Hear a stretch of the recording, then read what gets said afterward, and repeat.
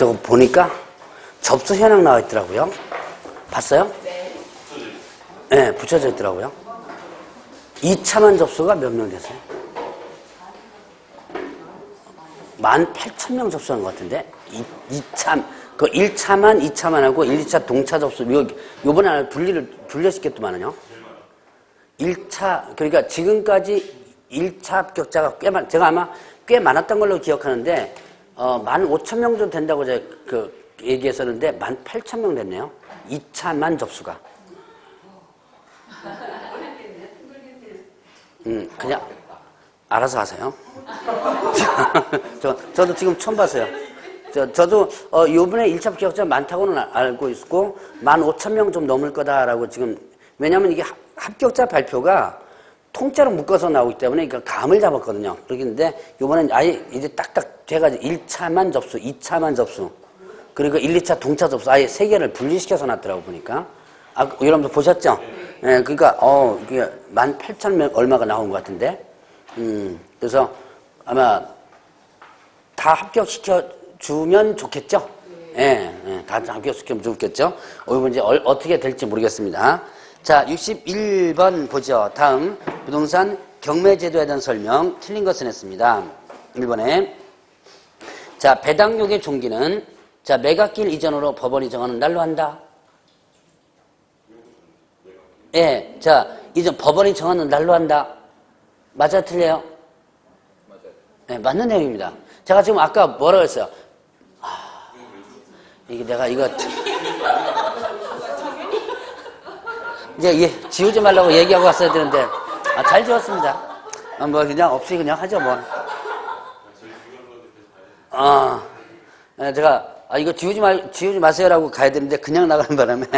어, 어제 잘 지웠습니다. 어쨌든 뭐 지운 사람들 팔 빠지게 지웠는데 또 뭐라 그러면 또 안 되겠죠. 어, 봅시다. 자, 이 배당 요구의 배당 요구는 언제까지 한다? 배당 요구의 종기일까지 한다 그랬죠? 일단 그렇게 기억하세요. 근데 여기에 보니까 배당료 종기는 천매가 이전으로 법원이 정하는 날로 한다 그랬죠? 예, 네, 맞아요, 이거는. 근데 천매가 이전, 며칠 전 이런 식으로 날짜가 안 나와요. 첫 매각길 기준에서 뭐, 뭐 10일 전으로 정한다. 아니면 1개월 전으로 정한다. 이런 식으로 날짜가 안 나옵니다. 그러니까, 자, 그냥 법원이 정하는 날, 그게 바로 배당요구의 종길이에요. 자, 그러면 이번에 배당 요구에 따라 매수인이 인수해야 할 부담이 바뀌는 경우 배당 요구로 한 채권자는 배당 요구가 종기가 지난 뒤에 철회할 수 없다. 철회하면 매수인이 부담이 받게 되죠. 손해가 가기 때문에 철회할 수 없다. 그다음에 채권자이면서 배당 요구 하지 않은 경우에는 당연 배당 채권자가 아닌 한 선순위 채권자라도 배당받을 수 없게 될 뿐 아니라 자기보다 후순위 채권자로서 배당받은 자를 상대로 별도 소송으로 부당이득 반환 청구 허용되지 않는다. 배당 요구하지 않은 경우. 자, 여기서 채권자에서 배당 요구하지 않은 경우에 당연 배당 채권자가 아닌 한 여기 이제 문제입니다. 당연 배당 채권자가 아닌 한 당연 배당 채권자 누구예요? 당연 배당 채권자? 예. 네. 자, 배당 요구 안 해도 배당 받을 수 있는 사람이죠? 그 사람이 아닌 한은 무조건 배당 요구를 해줘야 돼요. 배당 요구 해야지만 배당을 받을 수 있는 채권자는 배당 요구 해줘야 된다. 만약에 배당 요구 안 하면 배당 받을 수 없다. 배당 받을 수 없고, 그 다음 부당이득 반환 청구할 수 없다라고 했었죠. 자, 그러면 이제, 음, 4번에 최우선 변제에 있는 임차권자는 배당 요구하지 않아도 경매 절차에서 배당을 받을 수 있다. 자, 어, 임차권자니까 일단은 등기가 안 됐다는 얘기였죠? 자, 임차권 등기권자는 뭐 이렇게 된다면 문제가 좀 되죠? 자, 최우선배 받을 수 있는 임차권자. 얘는 등기되지 않았죠? 그러니까 어떻게 된다? 배당 요구? 예, 해야지만 되는 거죠. 자, 배당 요구 여부는 종종 시험 문제 나오는데요. 여러분들이 민법에서도 아마 기출 문제를 보면 배당 요구 여부 문제가 민법에서 종종 나와요. 그러면 그때 그, 이것만 기준 잡으라 했죠? 등기 됐는지 안 됐는지만 기준 잡으면 충분히 이거 문제 풀어나갈 수 있습니다. 자, 그 다음에 첫 경매기 결정 등기 어, 전에 등기된 저당권자, 근저당권자, 압류권자, 가압류권자 및 임차권 등기 명령에 의한 임차권 등기권자는 배당 요구하지 않아도 배당받을 수 있다. 배당받을 수, 자, 배당, 배당받을 수 있죠? 예. 왜요? 등기됐으니까. 자, 이제 참고적으로 가압류 채권자는요. 가압류 채권자는 배당을 받습니다. 받는데 어, 배당을 받긴 받되 직접 돈을 안 건네줘요. 가압류권자는 아직까지는 완전 압류가 아니죠. 가압류성 자산 때문에 채권이 확정되지 않았습니다.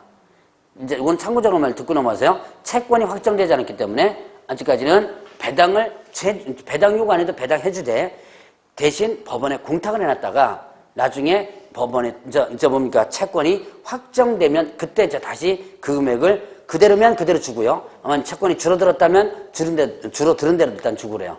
자 그럼 감유 채권자가 누구예요? 여러분들 흔히들 소송 들어갈 때 목적물을 확보하기 위해서 감유를 해놓고 소송 들어가죠. 자 아직까지 본안 소송이 완전히 끝나지 않은 상태입니다. 본안 소송이 완전히 끝나지 않았다면 뭐 고등법원의 대법원까지 지금 계속 계류 중에 있죠. 그럴 때는 채권이 확정되지 않았죠. 그렇기 때문에 완전히 배당을 해주되 돈을 주지 않고 공탁을 해놨다가 나중에 확정되면 그때 이제 돈을 주게 돼요. 자, 그러면 62번 보죠. 부동산 경매와 관련한 다음 설명 중 틀린 것은 1번에 압류채권자의, 어, 압류채권자의 채권에 우선하는 채권에 관한 부동산의 부담을 매수인에게 인수하게 하거나 매각대금으로 그 부동, 부담을 변제하는데 부족하지 않은 것이 인정되는 거 아니면 그 부동산을 매각하지 못한다. 일단 자 무슨 얘기인지 접수했어요? 아, 접수 못했어요? 그러면 자 그러면 OX 한번 판단해 보세요. 맞는 것 같아요? 틀린 것 같아요? 여러분들 이제 아, 문장이 부드러우니까 자 일단 여러분들이 접수를 무슨 얘기인지 몰라도 OX는 선택해야지만 되는 판국이죠 지금은 일단 이거를 여러분들 몰라도 일단은 OX를 먼저 선택해 보세요. 자 일단 압류책자, 압류채권 제 채권에 우선하는 채권에 관한 부동산의 부담을 매수인에게 인수하게 하거나 그럼 뭐예요? 이 압류채권자가 뭐죠? 일단 일단 압류채권자 누구예요? 경매 신청자죠. 경매 신청자의 그 앞서 채권까지 모두를 매수인에게 인수하게 하나 즉 인수주의, 인수주의, 인수주의 권리죠? 자, 그 다음 백악대금으로 부동산을 변제하는데 부족하지 않다는 것을 인정된 경우가 아니면, 즉 뭐예요? 대금으로 채무를 싹 변제해 주는 거죠. 그럼 결국 어디까지 채무가 변제돼야 돼요? 어디까지 채무가 변제돼야 돼요? 아, 그렇죠. 압류채권자에까지 채무가 변제돼줘야지만 되죠? 자, 압류채권자에까지 채무가 변제돼야 되는데, 거기까지 만약에, 하는데 부족하지 않은 거 인정된 경우가 아니면, 그럼 어떻게 된다? 채무를 다 압류시키고 이제 돌아가지 못한다는 얘기죠.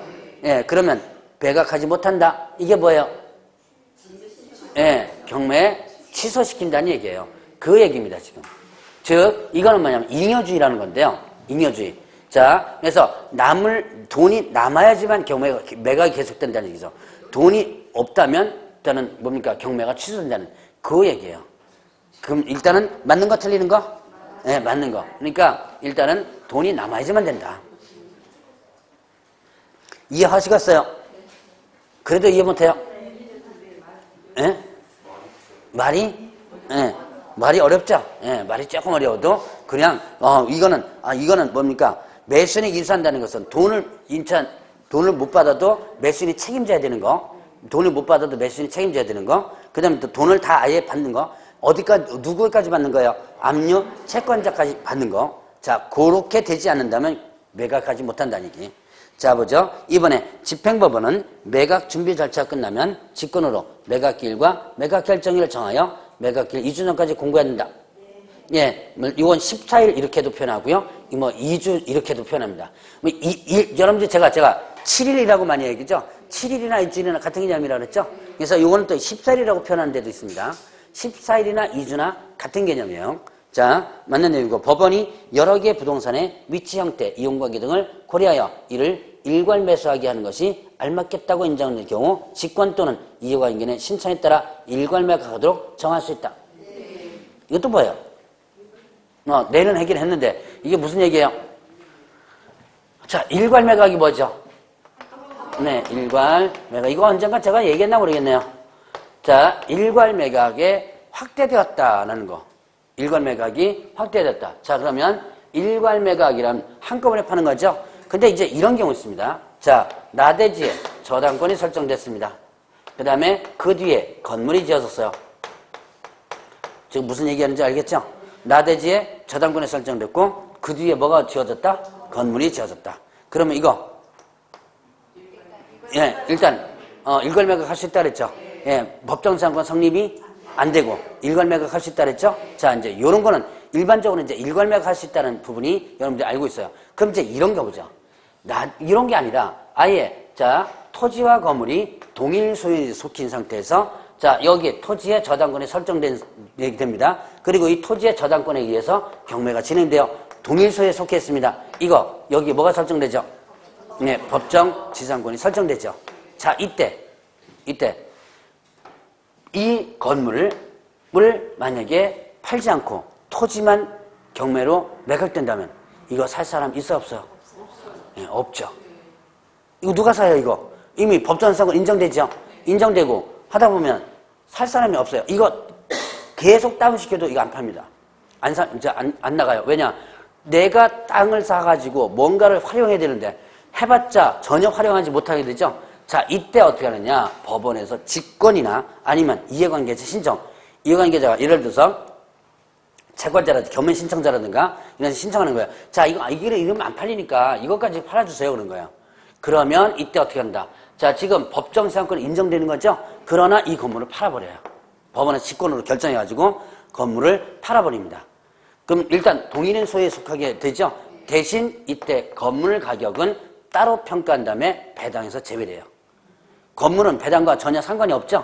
네, 그러니까 이제 건물을 팔긴 파는데 그래야지만 살 사람이 나타나죠? 그런데 이제 여기서는 건물 가격 빼가지고 별도로다가 해, 별도로 전산해주고 배당에는 제외된다. 배당은 이제 토지가 하면 배당해주죠. 요게 이제 일괄매각 확대되었다라고 하는 그런 내용입니다.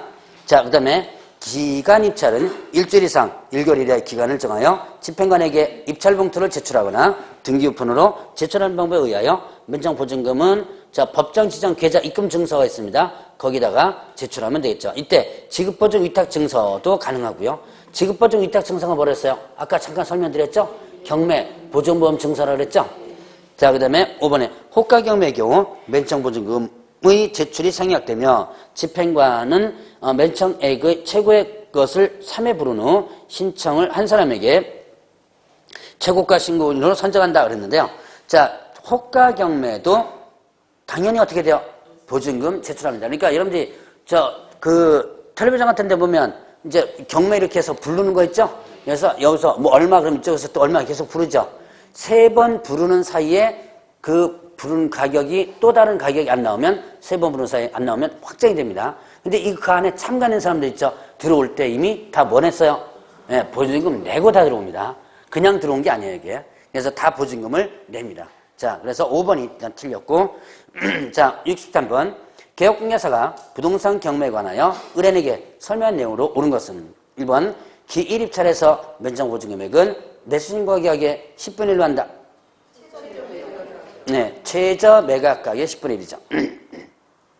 이번에 차순위 매수 신고는 그 신고액이 최고가 매수 신고에서 보증금을 뺀 금액을 넘을 때만 할 수 있다. 예. 자, 차순위 자격 벌써 시험 문제 몇 번 나왔다 그랬죠? 꼭 기억을 해 놓으셔야 돼요. 자, 그 다음에 3번에 매수인은 매각 대금을 대금이 지급되어 법원 사무관 등이 소유권 이전 등기를 촉탁한 때 목적 권리 취득한다. 대금 완납 시. 자, 4번에 매각 허위 결정 확정되면 매수인은 법원이 정한 대금 지급길에 매각 대금을 지급해야 한다. 예, 맞아요. 기한. 안 보이죠? 이거 맨 위에다가 1번에다 넣어놓으면 그냥 넘어갑니다, 이거. 이건 지금 23회에서 그나마 지금 23회가 최근 연도 시험 중에서 가장 쉬웠어요. 이때 제가 아마 이 얘기했을 거예요, 아마. 어, 100점짜리가 600명 넘게 나왔다고. 학교서 중에서. 중개사법. 이게 600명 넘게 나왔습니다. 실제로. 제 수강생 중에서도 파악한 것만 5명인가 6명인가 100점 나왔어요. 그러니까 그 정도 나왔으니까 가장 쉬웠던 문제라서 그나마 좀 이게 그, 어, 좀 쉬워요. 어, 근데 이 뭡니까? 요걸 좀 까다롭게 나오면 또 상당히 요 문장 가 요 문제 가지고도 한 바퀴 돌려버리면 또 까다롭게 나올 수가 있죠. 자, 그 다음에 5번 보죠. 재매각 절차에서 전에 매수인은 매수 신청할 수 있다. 예, 재매각에서 전에 매수인은 누구예요? 돈 못 낸 사람이죠? 참가할 수 없죠. 63번 보겠습니다. 개업 공인중개사가 민사집행법에 따른 경매에 대해 의뢰인에게 설명한 내용으로 옳은 것은 자 1번에 기일입찰에서 매수청인은 보증으로 매수 가격의 10분의 1에 해당하는 금액을 집행관에게 제공해야 한다. 최저 매각 가격의 10분의 1. 자, 매각 허가 결정이 확정되면 법원은 대금 지급 기일을 정하여 자, 여기서부터 이제 잘렸죠? 대금 지급 기한. 벌써 아까 23회 때 나왔는데 26회 또 나왔죠? 자, 그래서 기 한을 정하여 매수인을 통지하고 매수인은 대금 지급 기 한 내, 한까지죠? 어, 매각 대금을 지급해야 된다 그랬죠? 자, 그 다음에 3번에 민법, 상법 그 밖의 법률에 의하여 우선 변제 청구권이 있는 채권자는 매각 결정기일까지 배당 요구할 수 있다. 민법, 상법 그 밖의 법률에 의해서 우선 변제 청구권이 있는 자, 채권자. 이 사람이 누구예요? 우선 변제 청구권이 있는 자. 이 사람은 민법이나 상법에 의해서 우선 변제 청구권이 있죠. 그러면 이거는 등기 됐다는 얘기 안 됐다는 얘기. 민법이나 상법에 의한 우선 변제권이 있다는 얘기는 등기 안 됐다는 얘기죠. 등기 안 됐다는 얘기죠. 우선 변제권이 있다는 얘기는 일단 등기 안 됐다는 얘기입니다. 자 그러면 이때는 배당 요구를 해야죠. 네, 언제까지요? 그렇죠. 배당 요구의 종길. 배당 요구의 종길까지 이렇게 되죠. 4번에 매수인은 매각 부동산 위에 유치권자에게 유치권을 담보하는 채권을 변질 책임이 없다. 있죠? 네, 아까, 아까 이건 문제 계속 풀어봤던 것 같네요. 자, 그 다음에 5번에 매각 부동산 위의 전세권은 저당권에 대응할 수 있는 경우라도 전세권자가 배당 요구하면 매고로 소멸된다. 예. 맞네요. 배당 요구하면 소멸된다 그랬죠? 자, 그 다음에 배당 요구 안 하면요. 배당 받을 수 있어 없어요? 예, 그렇죠? 전세권은 등기된 권리지기 때문에 당연히 배당 요구 안 해도 배당 받을 수 있다 그랬죠.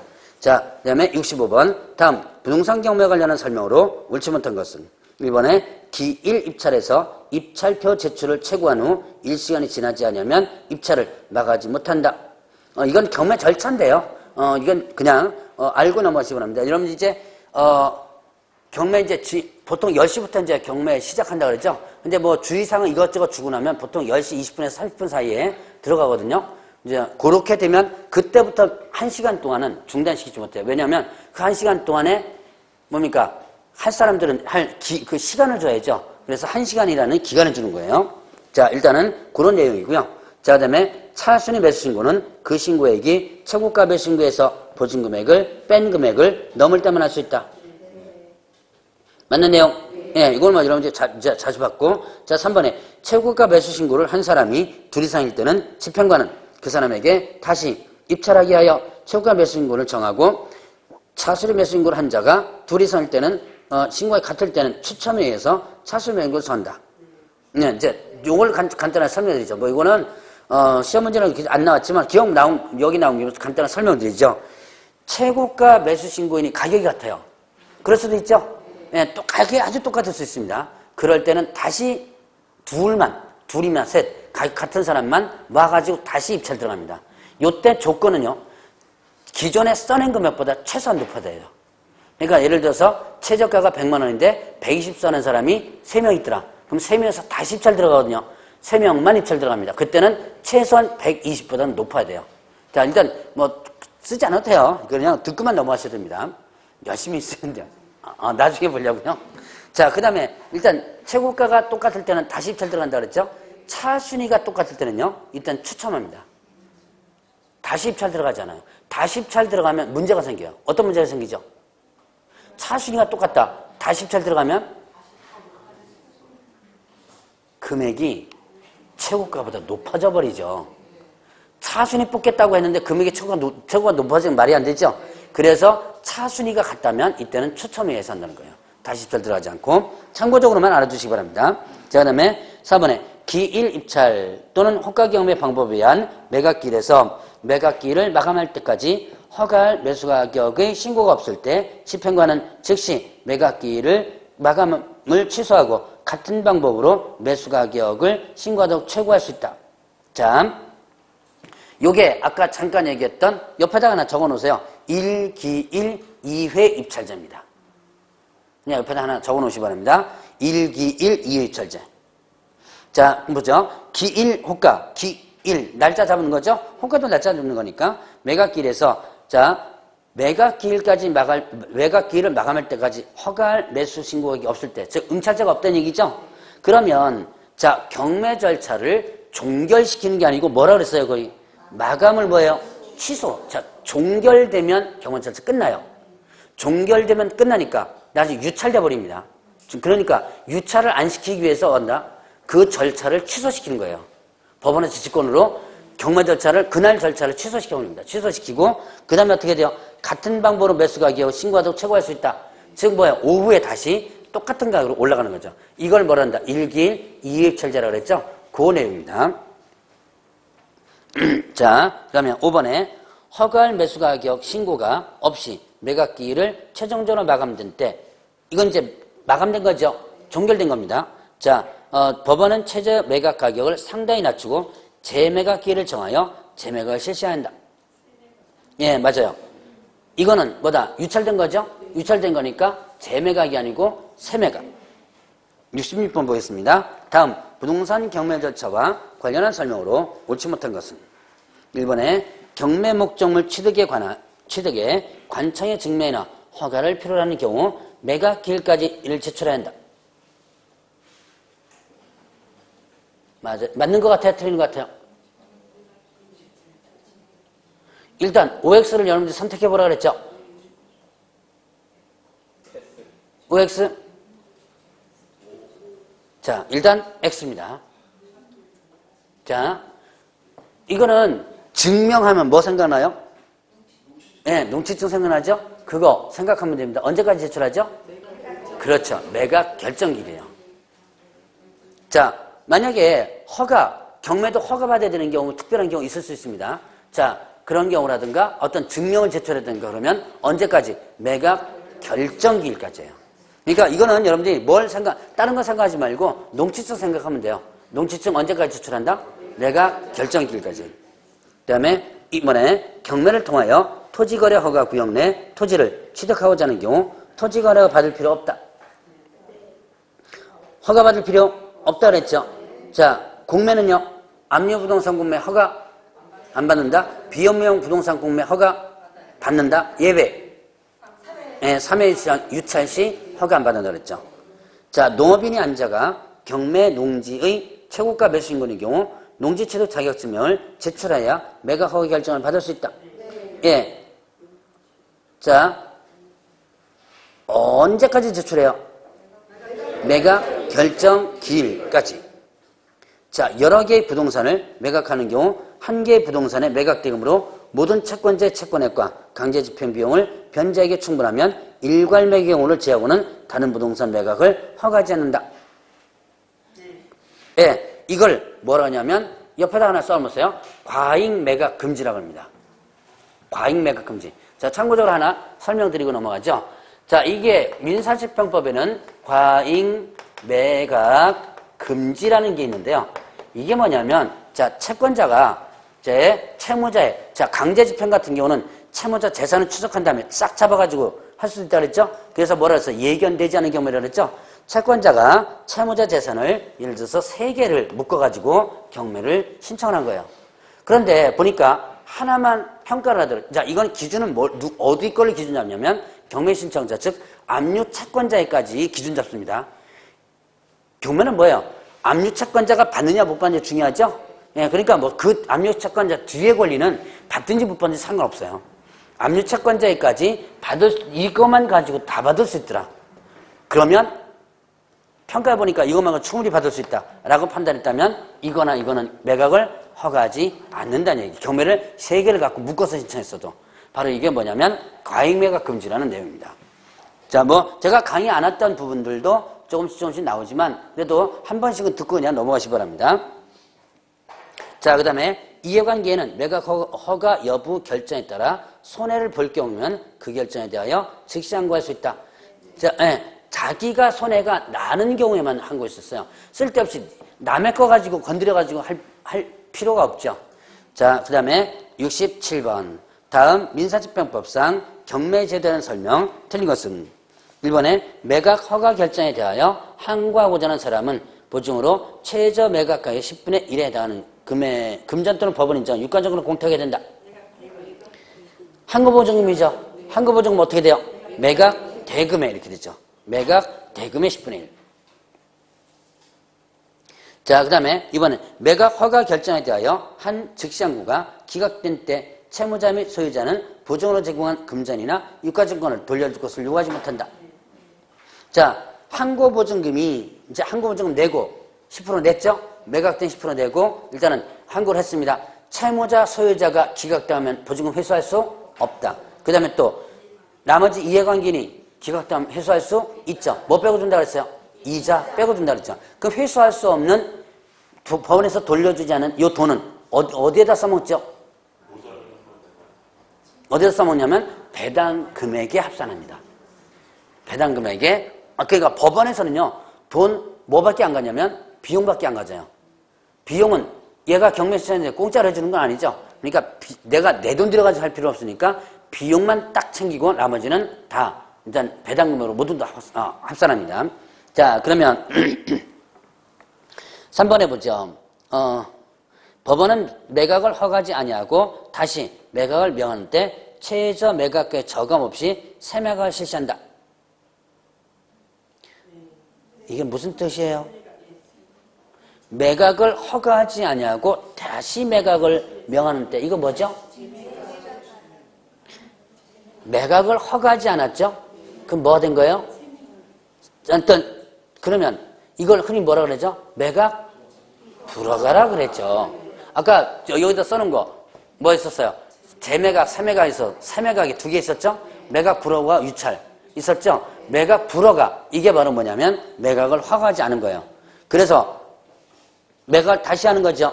다시 매각을 때. 이거는 세매각이죠. 최저 매각을 저감 없이 깎아주지 않는다 그랬죠? 자, 그 다음에 4번에 매각 허결정 확정되면 집행법원은 대금 지급 기한을 정하고 이를 매수인과 차수 매수인 통지한다. 자, 대금 지급 기한을 정한 다음에 매수인과 차순위 매수인과 통지합니다. 차순위 매수인과에게도 통지해요. 왜요? 매수인이 돈 낼 때까지 기다려라. 요때까지다. 라는 걸 알아야지만 되겠죠? 자, 그 다음에 5번에 채권자가 매수인인 경우 매각 결정 기일이 끝날 때까지 법원에 상계 신고하고 배당받아야 할 금액을 제외한 대금을 어, 배당기일에 낼 수 있다. 이거 뭐라 했어요? 줄 돈과 받을 돈이 있다 그랬죠? 그 목적물의 권리자가 경매를 받았습니다. 낙찰받았어요. 그러면 줄 돈과 받을 돈이 깐다 그랬죠? 이게 채권 상계 신청할 수 있다. 그 내용입니다. 자 그러면 68번 보죠. 다음 중 강제 경매 절차에서 매수 신청할 수 있는 자는 예, 자 경매 대상 부동산 평가한 감정인 친족, 집행관 친족 안 된다 그랬죠. 참고적으로 더 하나 좀 추가해 놓으면 사촌인의 친족입니다. 친족이라고 해서 사돈의 팔촌까지 걸어놓을 수는 없죠. 그래서 몇 촌인의 친족? 예, 이거는 집행관법에 별도로 나와요.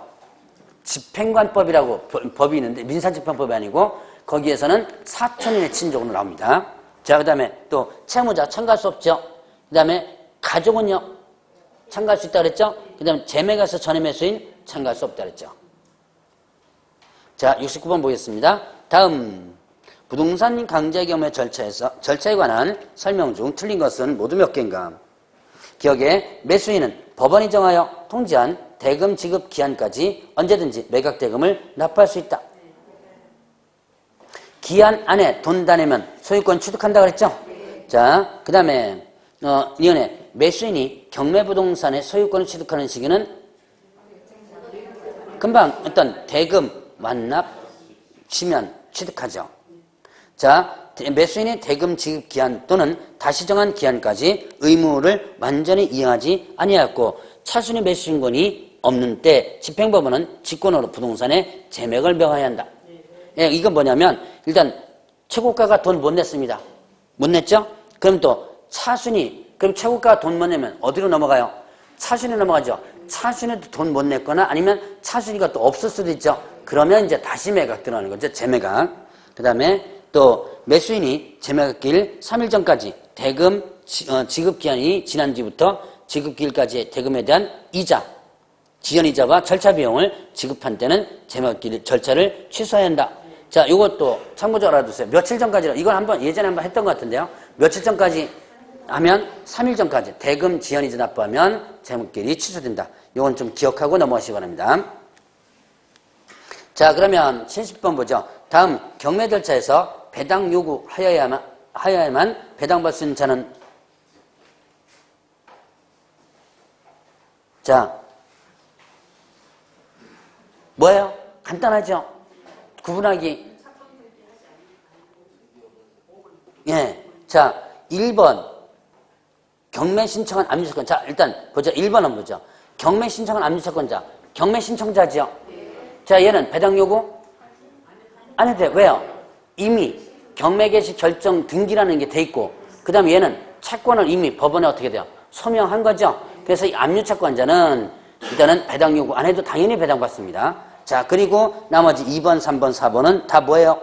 등기된 권리자죠? 자, 5번에 보면 임차권 등기하지 아니었으나 확정일자 이하의 우선 변조권은 상가임차인 이거는 등기 안 돼 있죠? 그러니까 배당 요구를 해야지면 되죠.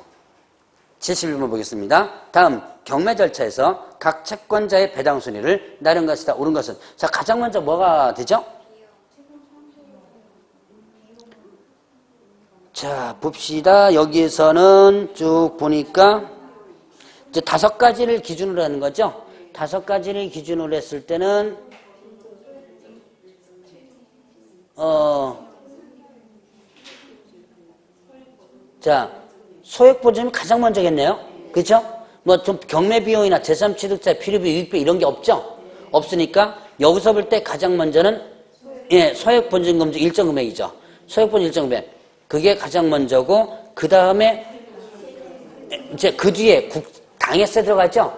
국세나 지방세, 당해세. 그러니까 이건 뭐 세법에서 염려하면 좀 배웠을 거야 아마. 최우선 번지보다 당해세가 밀린다는 거 아마 세법에서 배웠을 거고 그 다음에 들어가는 게 순위배당일 거예요 아마. 순위배당이면 뭐죠? 나죠 나.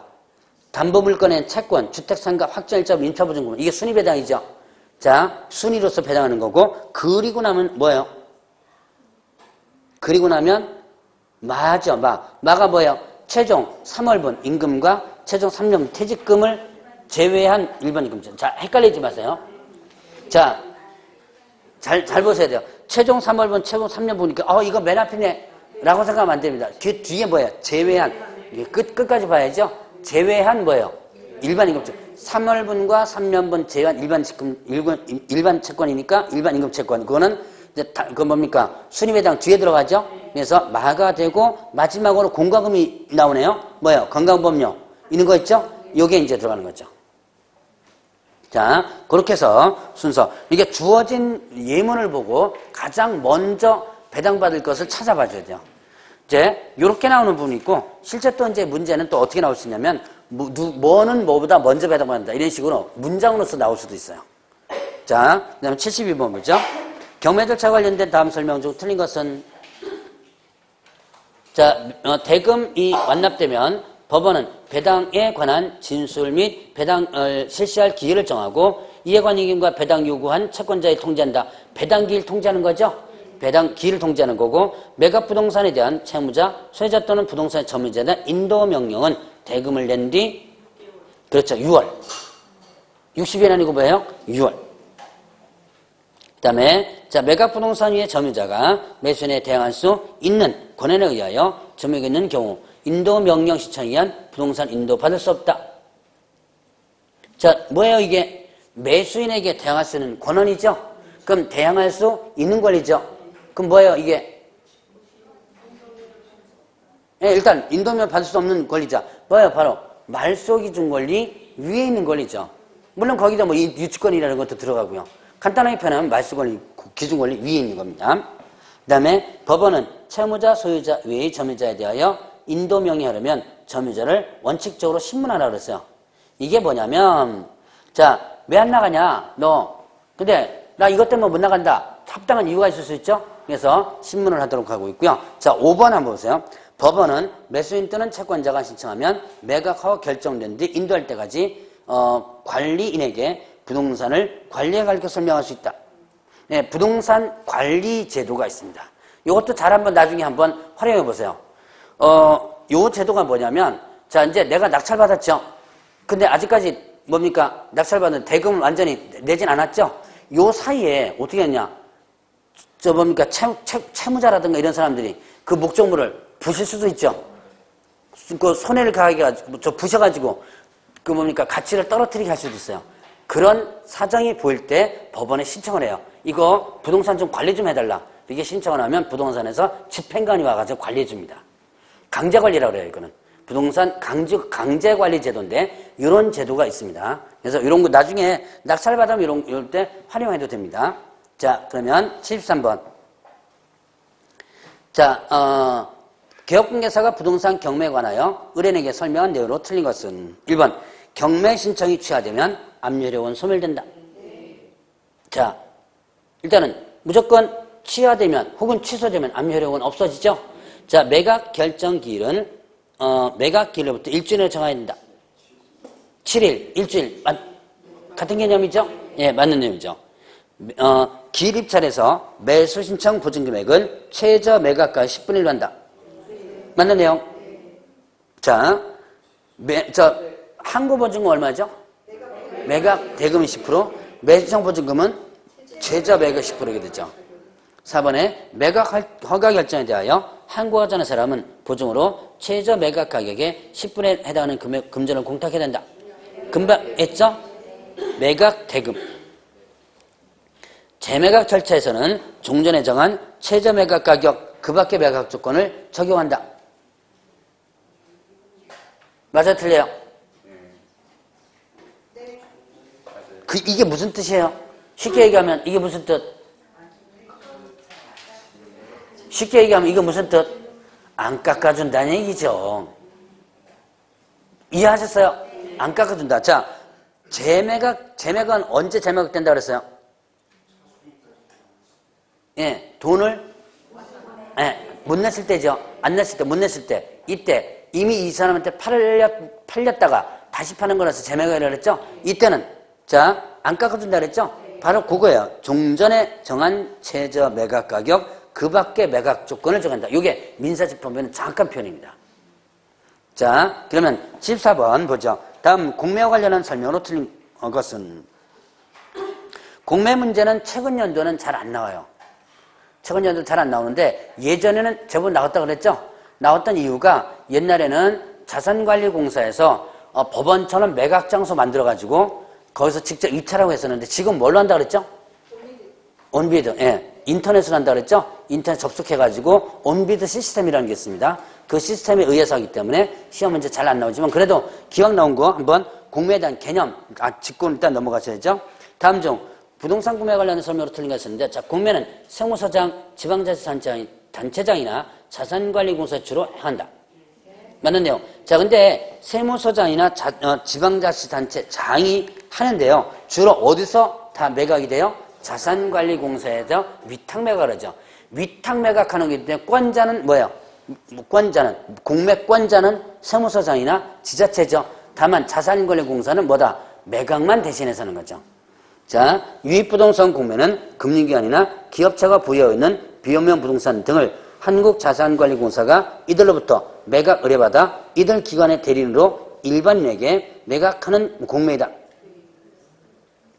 자, 이 유입 부동산을 이건 뭐다? 바로 다른 말로 말하면 비용용 부동산이라고 흔히 얘기하는 거예요.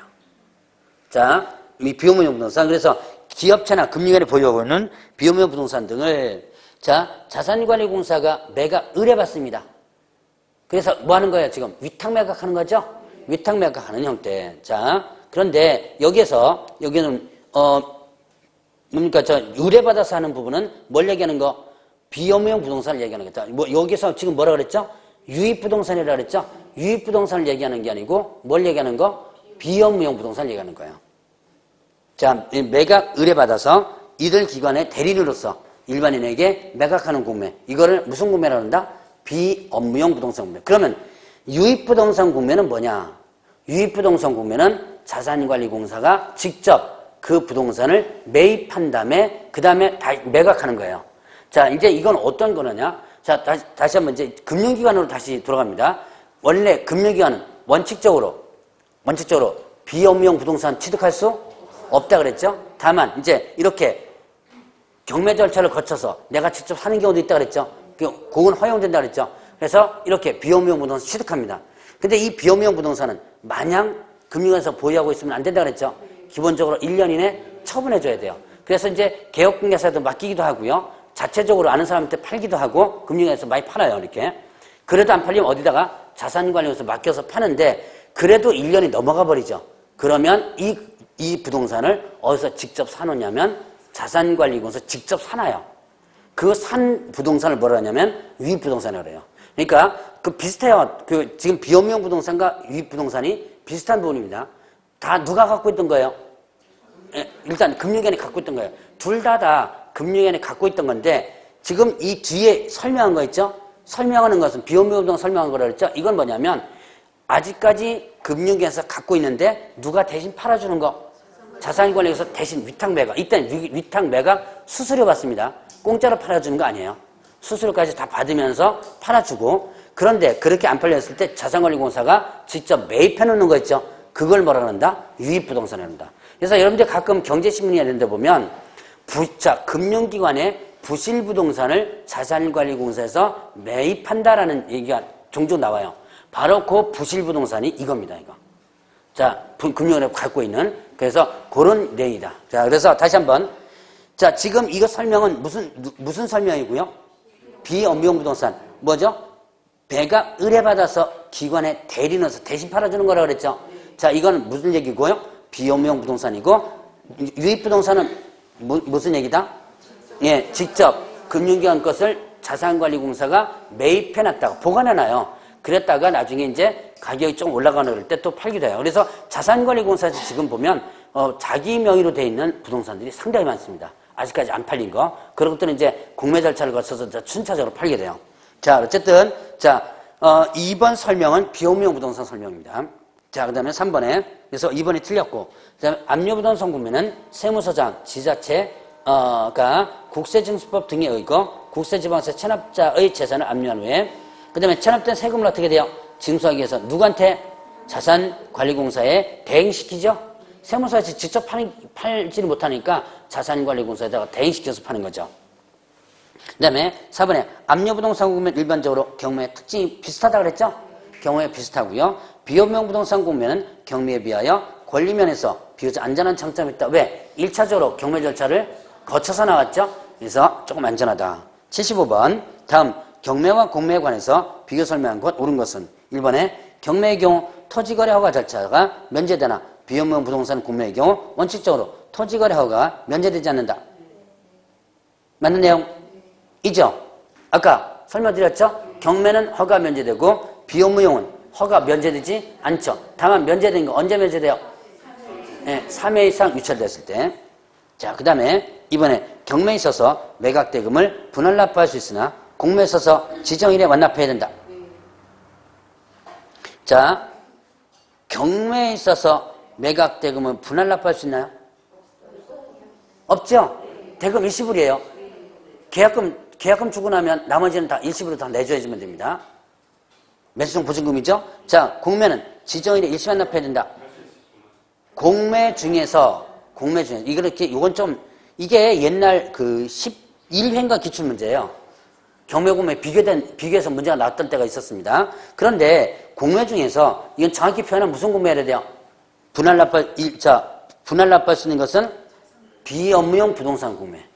자, 다시 한번. 경매는 일시불이죠. 그 다음에 또 비업무용 부동산은 비업무용 부동산은 분할 납부할 수 있고요. 그러나 압류 부동산은 일시불이에요. 분할 납부할 수 없습니다. 공매 중에서 압류 부동산은 경매랑 비슷하다 그랬죠. 일시불이고 비업무용 부동산만 분할 납부할 수 있어요. 자, 그 다음에 3번에 일반적으로 낙찰 가격 면에서 부동산 경매가 공매보다 비싼 것이옵니다.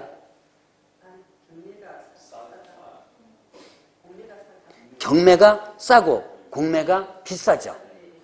자, 일반적으로 공매가 비싸요. 일단 비싼 이유는 두 가지가 있는데 하나는 어 금융기 자 비업용 부동산 같은 경우는 금융기관을 금융기관이 경매 절차를 이미 거쳐서 왔죠.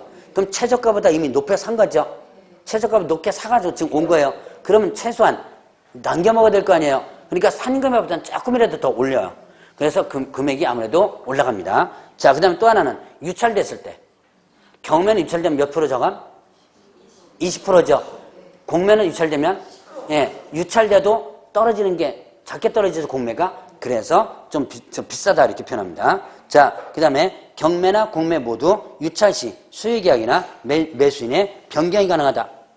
경매, 수의계약 변경 못합니다. 공매 중에서 공매 중에서 요거는 비업무용 부동산 공매예요. 자, 수의계약 명의 변경 가는 것은 무슨 공매? 예, 비업무용 부동산 공매. 유찰시 경매는 유찰시 경매는 몇 프로? 예, 공매는 10%게 되죠. 자, 이제 경매 문제 했네요. 제 76번부터는 매수전 대리 부분인데, 자, 일단은 요, 요 142페이지를 잠깐 보시기 바랍니다. 자, 매수 신청 대리 등록에 관한 대법원 규칙 예규 나오죠? 자, 보죠. 거기 보니까 뭐가 나오냐면, 이제, 어, 이 대법원 규칙은 언제만 적용하는 거? 언제만 적용하는 거죠? 경매에 대한 매수 신청 대리할 때만 적용되죠? 대리할 때만 적용되고, 자, 일단은 권리분석 취득 알선만 할 때는 이거 적용되지 않는다 그랬죠? 자, 대리권의 범위가 있었죠? 자, 대리권의 범위가 있었습니다. 자, 대리권의 범위는 어떻게 돼요? 매각기일이라는 거 네 가지로 했죠? 자, 보증, 제공하는 거, 그 다음에 또 입찰표, 입찰표를 작성해서 제출하는 거, 작성, 제출하는 거. 자, 그 다음에 또, 예, 둘, 넣었다가 떨어지면 뭐 할 수 있다? 차순위, 매수, 신고하는 거, 매수, 신고하는 거. 그 다음에 또, 예, 보증, 떨어, 또 떨어지면 보증, 반환 신청하는 게 되죠. 자, 이렇게 네 가지가 있고요. 자, 그 다음에 또, 이제, 어, 우선 매수 신고 세 가지가 있었죠. 뭐예요? 공유자. 자, 공유자에 대한 우선 매수 신고가 있고요. 그 다음에 부도 임대주택에 대한 뭐예요? 임차인에 대한 우선 매수 신고가 있더라. 그 다음에 또 이때 우선 매수 신고가 있다면 최고가는 뭘로 떨어진다 그랬어요? 차순위 지위로, 차순위로 본다 그랬죠? 이때 차순위 지위를 어떻게 한다? 차, 예, 차순위 지위를 포기할 수 있다 그랬죠? 요까지 될수 있다. 그래서 매각 길날 하는 네 가지, 우선 매수 신고 세 가지 이렇게 구분하라 그랬어요. 자, 그래서 이 대리권의 범위를 한번 구분해 봤고, 자, 그러면 이제 대리 대상물은 뭐가 같아요? 대리 대상물은 뭐 같다? 중개 대상물 같다 그랬죠?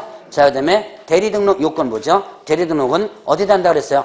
지방 법원 장에게 한다 그랬죠? 지방법원 장에게 한다. 자, 그러면 사무소 소지 지방법원 장이죠? 그 요건을 보면 일단 공인중개사이거나 법인이 해주면 된다 그랬죠? 그 다음에 개설 등록했을 것, 즉 개업 공인중개사만이 개설 등록점은 그러니까 대리 등록할 수 있다 그랬죠.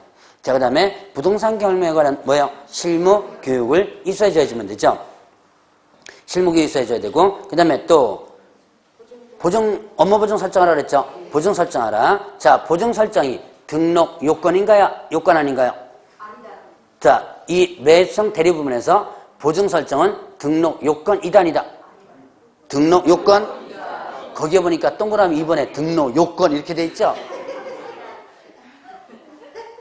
있죠? 자, 다시 한번. 자, 보증 설정이 매수신청 대리 등록의 등록 요건이죠. 자, 요건입니다. 자, 그러면 중개사무소 개설 등록할 때는 자, 업무 보증이 등록 요건 이해 아니에요?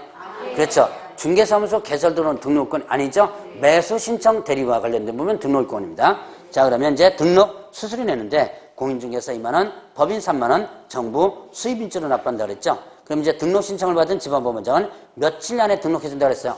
14일 안에 등록을 해준다 그랬죠? 그러면 결격사유 해당되면, 해당되면 등록할 수 없다 그랬죠? 자, 결격사유 부분에서 보니까 일단은 자, 매순청 대리 등록이 취소되면 몇 년 지나지 않은 자?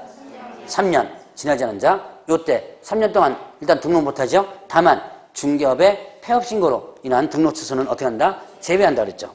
자, 만약에 폐업 신고가 되면 중개업이 폐업 신고되면 등록이 취소되는데 그런 데는 내가 잘못한 게 아니죠. 그렇기 때문에 일단은 취소되더라도 3년 적용하지 않는다. 자, 그 다음에 민사집행법 제108조 4호에 해당하는 자. 이 민사집행법 제108조 4호가 뭐냐? 바로 민사집행 절차에서 위반의 의로 확정 판결 받은 후 몇 년 경과되지 않은 자. 네, 2년. 3년이 아니고 2년. 꼭 기억해 놓으시고 요거 경매 참가할 수 없는 자죠. 참가할 수 없는 자니까 당연히 맨션 대리 업무도 못하죠. 그 다음에 자 맨션 대리 업무 정치험 받고 어떻게 돼요? 자, 그 정지관이 경과되지 않은 자. 근데 업무 정지 사유 발생 당시에 사원 또는 임원이었던 자 그 정지기간 동안 그 다음에 또 사원 또는 임원이 자 결격 사유의 사원 또는 임원이 있습니다. 법인에 있다면 그 법인 자체가 결격서입니다. 특히 1번과 2번은 꼭 기억하라고 그랬죠? 결격서분에서 시험 문제 나오는 부분이니까 꼭 기억을 해놓으라. 자, 그 다음에 행정정보 제공 요청 있었습니다. 자, 이거는 누가 누구에게 누가 법원 행정처장이 누구에게 국장 시군구 협회. 자 여기에 지방법원장 그럼 틀리다 그랬죠? 지방법원장은 이렇게 하면 틀립니다. 또 하나 국장 시군구 협회요. 뭐가 빠졌어요? 시도지사 빠졌죠? 자 법원행정처장은 시도지사에게 그럼 틀리다 그래서 그런 것들 여러분 주의해서 보시라 그랬죠 자 개업공개서에 정보 제공 요청할 수 있다 이때 요청받으면 응해지만 된다 그랬죠? 법원행정처장은요. 자, 그 다음에 등록증 개시. 자, 등록증과 맨천대리 수수료율표, 그 다음에 보증설정 서류, 요거를 어떻게 하 사무실 부교수공개서에 게시하라라고 했었죠. 자, 그러면 이제 경매 실무교육 있었죠? 실무교육. 경매 실무교육은 별도로 받는 거죠. 자, 개업공개사가 중개업과 관련된 실무교육을 받았다 하더라도, 받았다 하더라도 당연히 어떻게 돼요? 경매 실무교육은 별도로 받아줘야지면 됩니다. 자, 실무교육은 등록 신청일 전몇년 안에? 1년 안에 받으라라고 했고요. 자, 받을 대상이 개업 공인중개사죠? 자, 이때 소속공개사 받을 필요 없고요. 그 다음에 법인은 누구만 받는다? 대표자만. 특히 법인 조심하셔야 돼요. 대표자만. 자, 이때 대표자만 사원임원이나 분사무 책임자, 사원임원 분사무 책임자 안 받습니다. 누구만 받는 거? 대표자만 받는다. 자, 왜 대표자만 받는다 그랬어요? 매각 장소에 누가 직접 출석하라? 대표자만 직접 출석하라 그랬죠. 자, 그러면 일단 교육기관은 어떻게 돼요? 누가 지정하는 교육관에서? 법원 행정처장. 자, 법원 행정처장이 지정하는 교육관에서 일단은 받아라. 이때는 법원, 자, 지방법원장이 지정하는 부분이 아닙니다. 법원 행정처장, 그 다음에 또, 자, 전문대학 또는 대학, 그 다음에 또 협회 있죠? 자, 여기서 지정받을 수 있고요. 시간이 어떻게 됐죠? 32, 44. 32시간 이상 44시간이네. 이렇게 됐죠?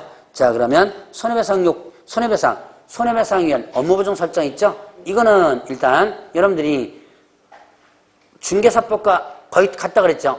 다만, 아까 잠깐 얘기했던 설정 시점이 좀 틀리죠? 자, 중개사무소 개설 등록과 관련된 부분은 등록 후에 업무개 시점이고, 자, 그 다음에 매신호 대등록은 어떻게 된다? 예, 등록 신청 전, 등록 요건이죠. 금액도 똑같다 그랬습니다. 자, 그러면 공제, 공제 관련된 부분에서도 중개사법과 내용이 같은데, 자, 그런데 여기서는 어, 운영실적 공시가 어떻게 돼요? 운영실적 공시는 매 회계연도 몇 월? 2월이네 이렇게 되죠. 자, 중개사법에서는요, 예, 3월이죠. 근데 여기 2월입니다.